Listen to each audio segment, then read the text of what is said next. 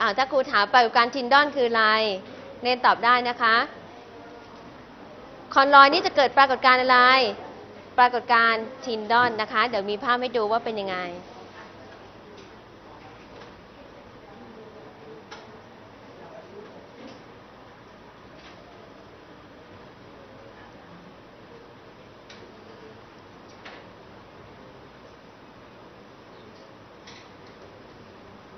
เป็นปรากฏการณ์การกระเจิงของแสงนะคะ แต่ว่าสารที่ทำให้สารที่ช่วยกระเจิงก็คือสารคอนลอยนั่นเองนะคะ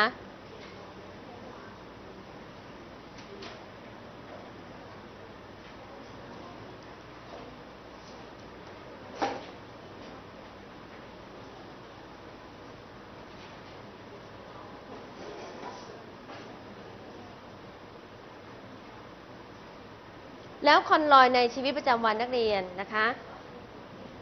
นักเรียนเคยเห็นอะไรบ้างคอนลอยในชีวิตประจำวัน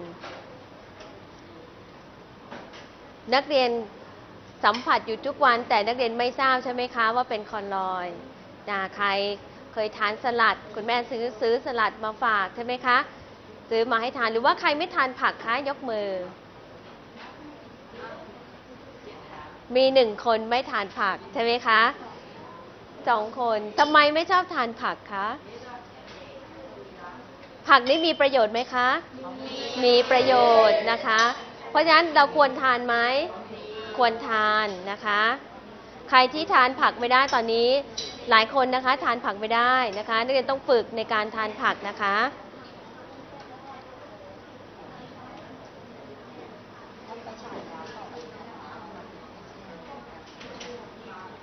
ก็อากาศเป็นอะไรคะ อากาศนะคะก็เป็นเหมือนจะมีฝุ่นละอองอยู่ข้างใน นักเรียนถามว่าทำไมเวลาส่องไฟฉายไปบนท้องฟ้าถึงเห็นลำแสงก็เพราะว่าอะไรคะ ต้องมีต้องมีคอนลอยอยู่ก็คือเป็นพวกฝุ่นละอองใช่ไหมคะเอาล่ะเดี๋ยวดูภาพปรากฏการณ์ทินดอนนะ นักเรียนวาดภาพประกอบได้นะคะ ในเรื่องของปรากฏการณ์ทินดอนอ่าดูภาพ ประกอบนะภาพนี้เห็นแล้วนะอันนี้เป็นการกระเจิงของแสงนะคะ เวลาฉายแสงผ่านเข้าไปนะคะ ตัวนี้น่าจะเป็นสารอื่นที่ไม่ใช่คอนลอย แต่ตัวที่สองเป็นอะไรคะเป็นคอนลอยเห็นลำแสงไหมเปรียบเทียบกันสองสองชนิดสารสองชนิด สีเหลืองนี้มองไม่เห็นใช่ไหมคะ แต่สีแดงเป็นไงคะ มองเห็นนั่นคือเป็นสารคอนลอย ราะฉะนั้นถ้าจะตรวจสอบว่าสารใดเป็นสารละลาย หรือสารใดเป็นคลอรอยนักเรียนคิดว่าใช้อะไรในการตรวจสอบได้ นอกจากกระดาษกรองกับเซลโลเฟนแล้วเพื่อนบอกว่านักเรียนบอกว่าไฟฉายใช่ไหมคะ หรือว่าตัวตัวให้แสงใช่ไหมคะ พอฉายแสงผ่านปุ๊บเป็นไงคะ จะทำให้เราเห็นลำแสงเขาเรียกว่าปรากฏการณ์นี้เรียกว่าปรากฏการณ์อะไรคะปรากฏการณ์ทินดอนนะคะ เป็นการกระเจิงของ แสงนะคะอ่าอีกหนึ่งภาพอ่านี่เห็นชัดเจนเลยใช่ไหมมองเห็นไหมคะ สีแดงอ่าแสงผ่านนะคะ อันนี้เป็นนมผสมน้ำนะคะ นมสดผสมน้ำนะคะ ในหนังสือแบบเรียนก็มีนะคะ เรียนดูได้นะคะ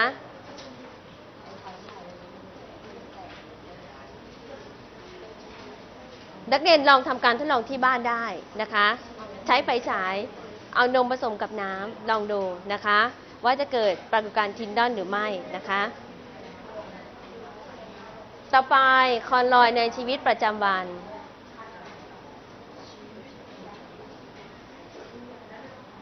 คอนลอยในชีวิตประจำวัน เช่น การทำน้ำสลัด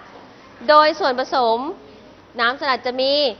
น้ำ น้ำมันและไข่แดงนะคะ รวมเป็นเนื้อเดียวกันจัดเป็นอิมันชัน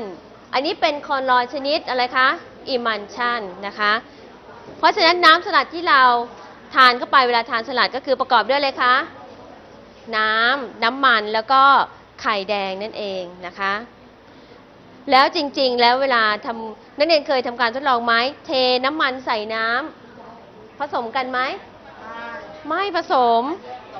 แล้วทำไมน้ำสลัดมันมันรวมเป็นเนื้อเดียวกัน มองเห็นเป็นสารเนื้อเดียวล่ะคะเออนักเรียนบอกว่ามีไข่แดงมาช่วยใช่ไหมคะ ไข่แดงตัวนี้มาช่วยทำอะไร ช่วยให้ผสมกันได้ เพราะฉะนั้นตัวที่ทำให้ผสมกันได้เขาเรียกว่า emulsifier เข้าใจไหมคะ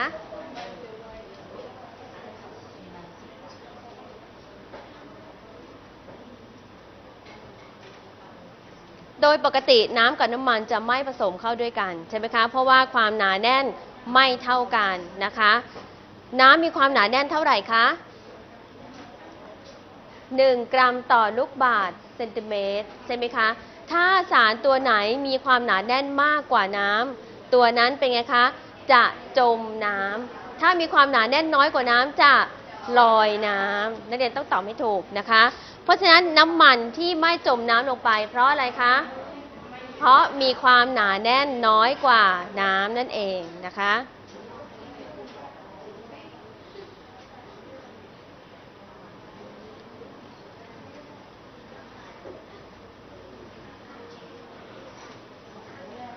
นักเรียนวาดภาพ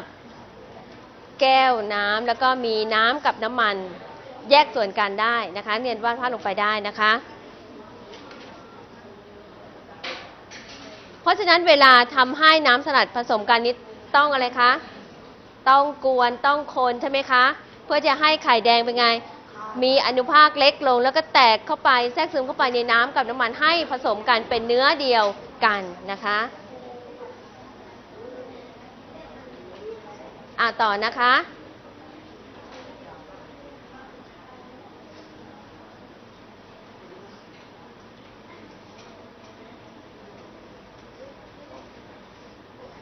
น้ำกับน้ำมันมีความหนาแน่นต่างกัน จะไม่รวมเป็นเนื้อเดียวกัน จะแยกชั้นกันอย่างชัดเจนนะคะ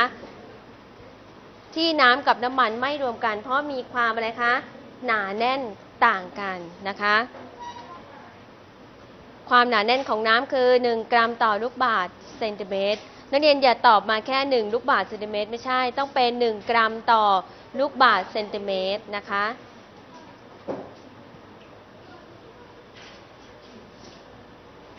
แต่ว่าน้ำกับน้ำมันที่อยู่ใน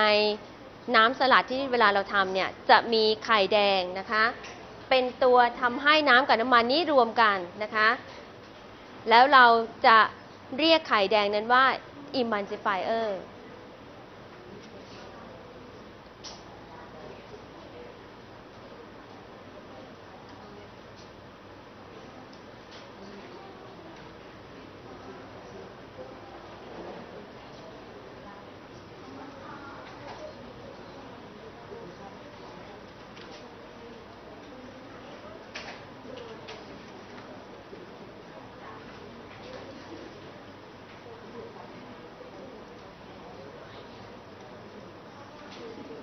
แล้วยังมีอย่างอื่นไหมคะที่รวมกัน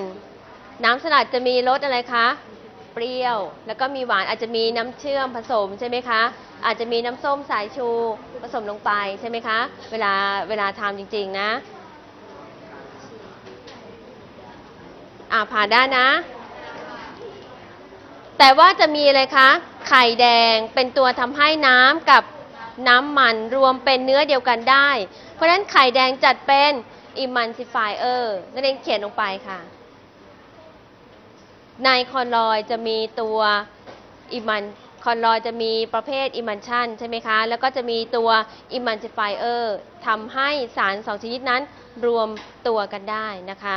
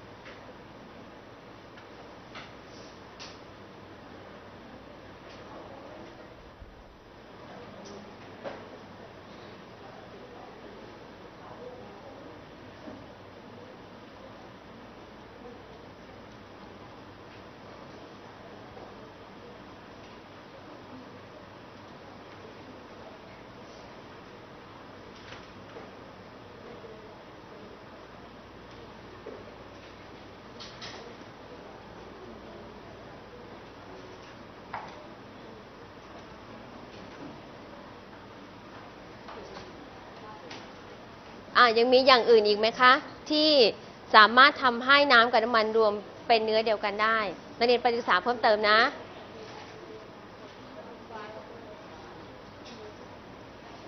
อ่าเดี๋ยวดูภาพนะคะ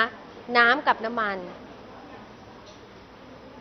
ตอนนี้นักเรียนมีประสบการณ์อยู่แล้ว พอเทน้ำมันใส่น้ำปุ๊บ แยกชั้นใช่ไหมคะ ถึงแม้จะเอาอะไรมากวนๆนี่แต่เป็นอนุภาคเล็กก็ตามแต่เวลา เวลาไม่กวนแล้วก็กลับมาเป็นเหมือนเดิมใช่ไหมคะ กลับมาเป็นเหมือนเดิมก็คือแยกชั้นเหมือนเดิม ที่การเกิดการแยกชั้นเพราะอะไร เพราะความหนาแน่นเป็นไงคะ ต่างกันนะคะ ตัวไหนหนักกว่าจะอยู่ด้านล่าง ตัวไหนเบากว่าจะอยู่ด้านบนนะคะ อ่าดูนะคะ อันนี้เป็นน้ำกับน้ำมัน ไม่รวมเป็นเนื้อเดียวกันใช่ไหมคะ น้ำมันจะลอยอยู่ ข้างบนนะคะ แล้วก็น้ำจะอยู่ข้างล่าง ตัวที่อยู่ด้านล่างคือมีความหนาแน่นมากกว่า ความหนาแน่นคืออะไรคะ